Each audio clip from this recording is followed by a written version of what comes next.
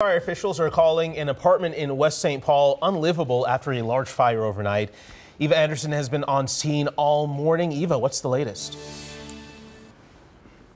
Good morning, Jason. Yeah, as you said, it is unlivable. We're going to give you a different angle than we've been showing you all morning now that all fire crews have gone away, and that was in the past five minutes. So take a look at this. It is a two unit apartment complex. Deputy Fire Chief Mark Erickson tells us that thankfully, by the time they arrived, which was at 3.08 a.m., all people inside were evacuated. So that's the good news. None of them are hurt. However, it is unlivable. However, the good news is right next door there's a business, it's a locksmith business. They say that there's no apparent damage there right now. But let's take a look at what the flames looked like earlier. Fire crews were called just after 3 a.m. They arrived within five minutes and there were flames shooting up.